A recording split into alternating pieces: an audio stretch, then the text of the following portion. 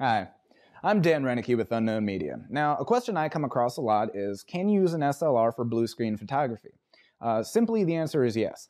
A blue screen or even a green screen, they're, they're basically the same thing. You wouldn't use something like a red screen because people's skin tones tend to have a lot of red in them, so when you want to later remove the green screen, blue screen, or in this case, if you were going to use a red screen, if you were to remove that, people's skin tones would actually start coming out as well, and you'd have almost a translucent person, which is not good.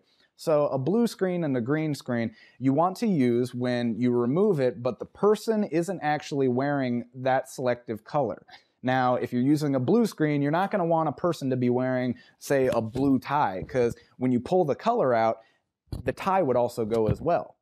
So to simply answer the question, can you use an SLR for blue screen photography? The answer is yes. It's all about what you want to key out, not necessarily the camera itself.